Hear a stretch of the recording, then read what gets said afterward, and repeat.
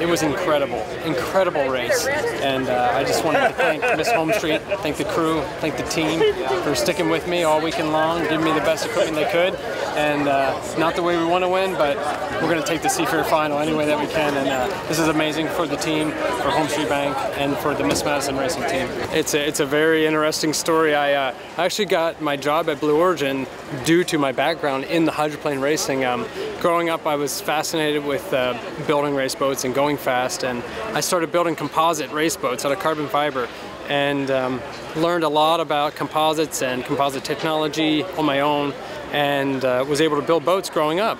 So I met my wife racing in the Middle East in Qatar. She was from Sammamish, Washington. I was from around Baltimore, Maryland. De Grace, Maryland is the town I grew up in. And uh, we met out in Qatar in the Middle East, fell in love, ended up dating and, and uh, ended up moving out to Seattle with with a kid, and um, I had to find a job out in Seattle. So saw this company, Blue Origin, looked like it was something I could do. Applied, and uh, it has just been a wonderful, wonderful ride. I've been there for just about four years now at, at Blue Origin, and um, I do uh, the crew capsule integration. It's, it's interesting, the, the technology kind of goes hand in hand, so that's why the job fits me so well.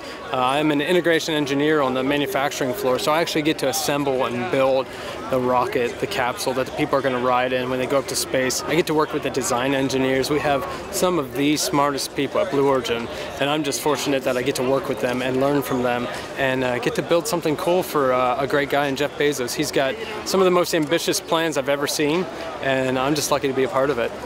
We did a display. We took the race boat to Blue Origin. Uh, a lot of the employees there kind of heard about the boat racing. Some of them didn't know about it. A lot of them were brand new to the Seattle area coming in to work for Blue Origin. So we said, hey, this might be a great opportunity to get them involved to, to learn about a, a long-standing tradition in Seafair.